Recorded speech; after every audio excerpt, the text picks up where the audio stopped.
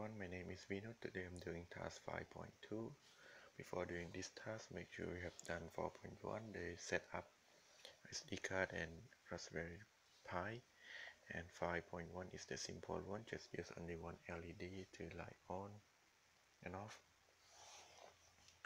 And for this task is 5.2, it's a bit harder, so uh, for the device I have 3 LED light, 3 resistor, four male to female jumper wire, one breadboard, a Raspberry Pi, a monitor, mouse keyboard, HDMI cable and power supply. So I'll run through the code.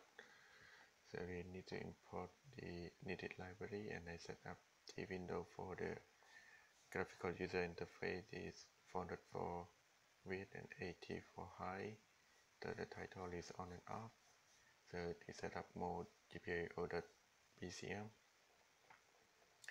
and we should have initialize v to integer var. And I'm using three pin so GPIO 14 15 and 18 equal to like pin number 8 pin number 10 and pin number 12 so these are the three functions. So it so we have three different function that will apply to three LED light. And last one is the close function. So that for the exit button is where we create exit sorry the button. So for the light we use the radio button and we use the function that we have created on the top for each button. And the exit is the close function. And at the bottom here is when we click on the across and it will work the same as the exit. So now let's test the I'll click run yep so the graphical user interface here and I'll click on blue blue light on and click on green. Red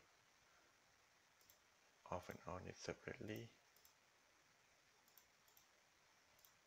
Or I can use exit.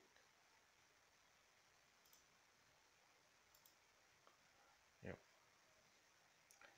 And again